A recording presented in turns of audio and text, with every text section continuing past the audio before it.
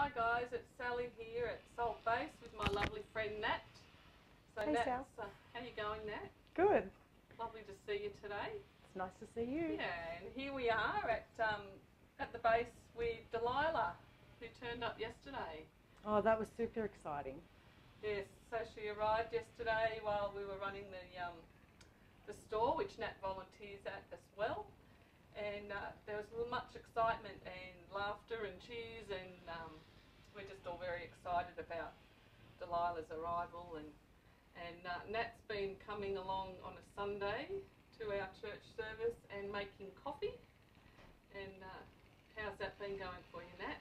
Um, I enjoy making coffee for the people at Salt Ministries, and I can't thank them enough for the skills.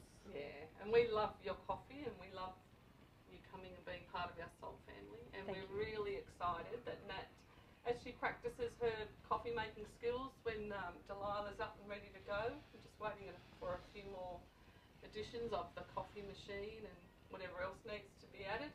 And um, yeah, Nat will be heading it up and we're really excited and looking forward I'm to super that. excited. Yeah. Can't wait. So come on down, guys, and try Nat's beautiful coffee.